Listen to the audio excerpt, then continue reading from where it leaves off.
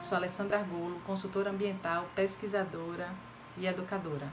Talvez o maior desafio na minha carreira tenha sido equilibrar essas três frentes de atuação que eu considero que são complementares com a minha vida pessoal e com a maternidade.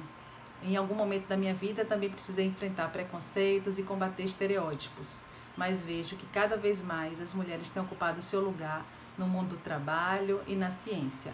Ainda assim um caminho a ser percorrido, é, especialmente quando verificamos né, que somos minoria nos cargos de poder e no recebimento de bolsas importantes para a pesquisa, como a de produtividade. O que eu desejo é que as mulheres cada vez mais possam ocupar esses espaços.